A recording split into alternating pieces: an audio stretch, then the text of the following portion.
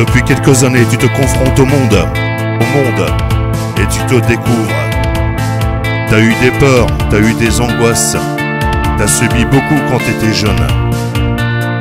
Tu t'es enfermé dans un corps qui finalement n'est pas le tien. T'as mangé tes angoisses, tes peurs, t'as mangé pour t'enfermer dans ton monde.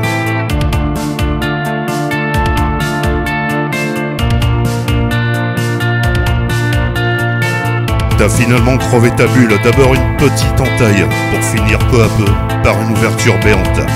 Le monde s'est découvert à toi et t'as trouvé au plus profond de toi des ressources que t'avais cachées.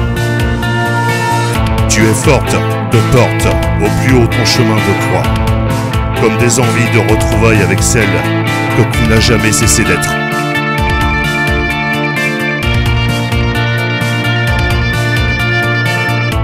Dans tes errances, plus d'une fois, tu as voulu en finir.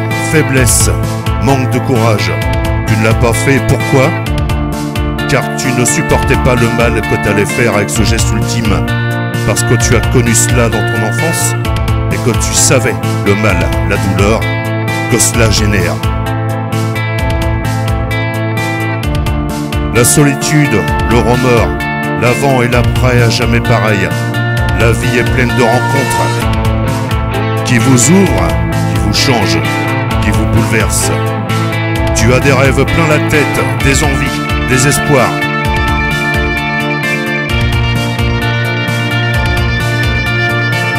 Ne perdez pas votre temps, avancez, créez, découvrez-vous, laissez-vous faire, écoutez-vous, ne passez pas à côté de rien.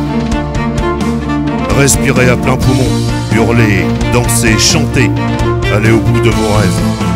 Laissez le temps faire son œuvre et prenez le contrôle. Lâchez prise, soyez honnête avec vous-même, ne combattez pas le destin, les évidences.